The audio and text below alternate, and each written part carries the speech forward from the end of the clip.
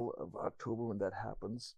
And so we go through. Uh, my daughter created this particular book. It's called Safe. It's a binder, and and what it does is it it lists all the all the opportunities, the vision opportunities, or um, the uh, each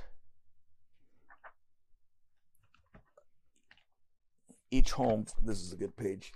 Each home has Maybe hard to see there. Some of that light sometimes will glare a little bit. okay.